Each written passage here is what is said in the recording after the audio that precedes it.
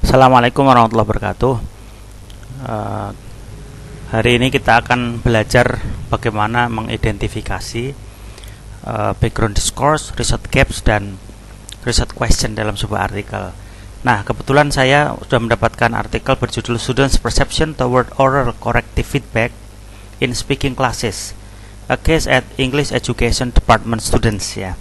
Ini di jurnal International Journal of Language Education atau IJOL. IJOLE ini ya.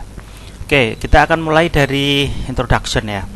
Nah, judul ini ya ini digambarkan uh, di dalam introduction ya sebenarnya. Jadi di introduction ini ada bagian yang disebut sebagai background discourse ya. Background discourse ini uh, ada di paragraf pertama tetapi bisa juga di paragraf pertama, kedua, ketiga dan seterusnya ya. Tetapi kita lihat apakah di paragraf pertama saja atau paragraf berikutnya ya.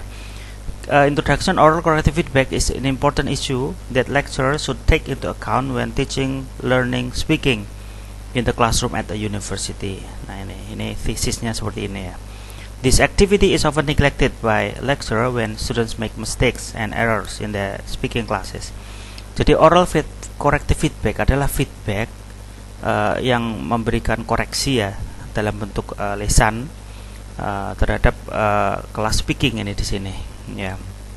Di universitas itu uh, seharusnya di merupakan apa important issues ya hal yang penting isu penting ya.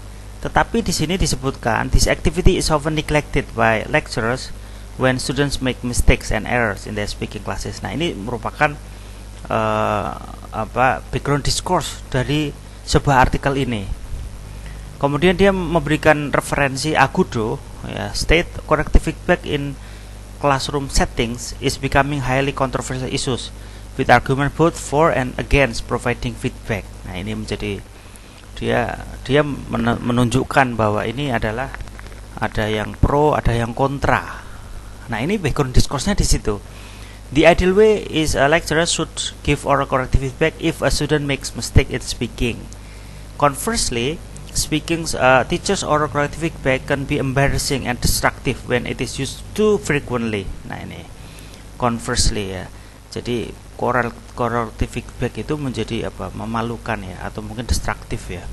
When, when the students think that they they have acquired sufficient target language and their errors last for a long time without teachers feedback, fossilization of errors can occur. Nah, ini disebutkan juga ketika mahasiswa ya berpikir mereka uh, sudah mendapatkan ya bahasa bahasa sasaran yang sudah cukup ya dan kesalahannya itu berlangsung lama tanpa ada teachers feedback mungkin fossilization ini fossilization itu istilah lazim ya jadi menfosilnya kesalahan-kesalahan itu akan terjadi. Jadi sudah tidak bisa dikoreksi lagi karena sudah menfosil.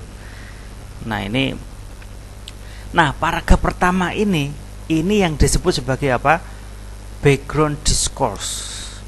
Maka kalau kita ingin membuat sebuah uh, background discourse di introduction kita harus menggambarkan judulnya ini jadi student perception toward oral corrective feedback. Maka ini tentang oral corrective feedback in speaking classes. Berarti di dalam background discourse kita harus bicara itu. Nah, kesalahan yang lazim uh, yang dilakukan oleh mahasiswa adalah mereka membuat introduction di paragraf pertama, tetapi paragraf itu tidak menggambarkan judul. Nah, ini ini yang jadi apa banyak keprihatinan juga jadi yang ditulis itu misalnya adalah English is an international language misalnya seperti itu. Jadi bahasa Inggris uh, adalah bahasa internasional. Kemudian dia membutuhkan keterampilan listening, speaking, reading, writing. Nah, ini ini yang tidak terkait dengan apa? judul. Maka kita harus menuliskan background discourse itu harus sesuai dengan judul kita. Nah, seperti ini ya. Ini paragraf pertama adalah background discourse. Kemudian uh, di paragraf kedua kita lihat Hunaifi and Hartono have said corrective in speaking classes should be given in order to reduce the possibility of wrong target language use being continued leading to fossilization error. Nah, kemudian in addition Maulani have stated that uh, teachers corrective feedback is important to promote uh, young learners in the language development. However, nah kita akan melihat juga ini di paragraf kedua ini sudah merupakan uh, dia memberikan namanya uh, resource overview ya atau research gaps. Nah, resource overview ini ini penting. Jadi bagaimana dia menunjukkan penelitian-penelitian orang lain ya. Dia menunjukkan yang pertama, penelitian Hunayfi menyatakan bahwa corrective feedback itu seharusnya diberikan untuk menurunkan kemungkinan uh, kesalahan ya atau kemungkinan bahasa sasaran yang salah yang akhirnya mengarah kepada fossilization of errors. Nah, ini pertama ini. Yang kedua, stated that teachers corrective feedback is important to promote young learners. Dan yang ketiga ini, Solika has concluded that corrective feedback provides can improve students speaking competence. Nah ini, dia memberikan uh, apa ya resource overview tadi itu dalam dalam riset gaps ini. Bahwa Hunayfi itu begini cerita apa penelitian Hunayfi tentang corrective feedback adalah begini. Penelitian Maulida tentang corrective feedback adalah begini. Penelitian Solikah adalah begini ya kan? Kemudian dia masih melanjutkan juga penelitian Ali dan Husen dan Ali 2014 misalnya. Keuntungan corrective feedback whether in oral written form is viewed as a medium to improve students uh, learning. Dia menceritakan begitu. Kir Kirgos dan akam juga begitu. Dan seterusnya dan seterusnya. Nah ini merupakan apa? Disebut sebagai uh, research gaps ya atau research overview. Jadi ada menunjukkan oh yang sudah ada itu begini research gap. Sementara sementara tentang student perception toward ini belum ada. Jadi menceritakan begitu. Oh yang sudah ada misalnya apa? The advantages sudah ada dan macam-macam ya ini.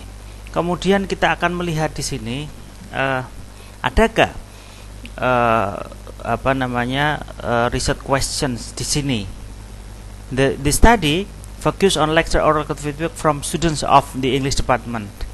The focus is on importance of error corrections agents who correct the error preference of oral creative feedback type immediate feeling students reaction caused by immediate feedback the timing of feedback dan seterusnya ini. This kind of are still limited discussed by researchers therefore this current study is essential to investigate. Nah ini ini adalah riset questionnya ada di sini. The reaction of student feeling when they are given oral corrective feedback in the context of giving feedback during the teaching and learning process of speaking classes. Maka kalimat terakhir ini ini adalah reset question pada dasarnya. Jadi uh, bagaimana kan kira-kira reset questionnya begitu. Bagaimana reaksi atau perasaan mahasiswa ketika mereka diberi feedback oral corrective feedback tadi, feedback uh, koreksi yang berupa lisan. Nah, bagaimana reaksinya, bagaimana perasaannya. Jadi ini how pertanyaannya begitu aja karena tentang perception kan. Nah, ini sudah pada introduction ini sudah ada tiga, baga, tiga bagian penting. Pertama disebut sebagai uh, background discourse, ya kan? Ini yang ada di paragraf pertama. Paragraf kedua dan seterusnya itu adalah resource overview atau research gaps. Dan paragraf terakhir di kalimat terakhir ini adalah disebut sebagai research questions tapi dalam bentuk uh, kalimat uh, deklaratif ya. Jadi seperti itu. Nah untuk tugas uh, kalian ya untuk tugas kalian silahkan nanti anda me, me apa menganalisis ya mengidentifikasi uh, oral corrective uh, bukan oral corrective mengidentifikasi background discourse research gaps and research questions. Ya jadi anda itu nanti mengidentifikasi itu. Nah uh, tugas anda adalah uh, menuliskan ringkasan ya. Background discourse research gaps dan research question di sebuah artikel ini. Ini saya preview uh, Jadi yang Anda lakukan adalah pertama menuliskan background discourse di sebuah artikel ya. Nah, artikelnya mana? Kalau kita melihat di sini sudah saya kasih di depan ini ya. Ini Anda klik itu langsung bisa di-download. Ini artikelnya. Motivational Currents of Indonesian Postgraduate Students Studying Abroad. Nah, ada di sana. Uh, teksnya ada di sini ya. Oke, saya rasa itu yang bisa saya sampaikan. Assalamualaikum warahmatullahi wabarakatuh.